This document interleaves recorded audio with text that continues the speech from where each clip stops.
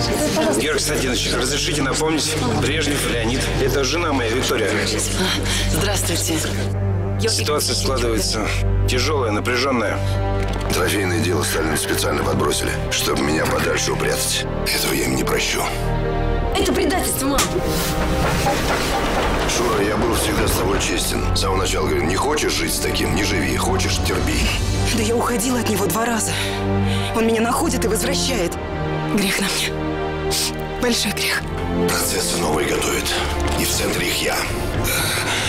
Шура, Жорж, все. сердце что-то. Вы очень красивая, Галина Александровна. Вам нельзя сейчас волноваться. А зачем же тогда жить, если не волноваться? До меня слухи тут э, дошли, что вам квартира нужна. Понял, товарищ Хрущев. Куда ты меня привез? Солнышко, ну закрой глаза. Эта квартира твоя. Вот ордер. Ключ.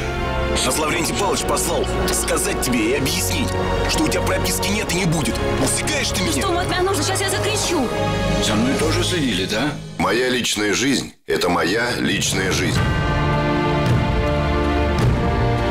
Вам поручается вместе с товарищами арестовать товарища Берию.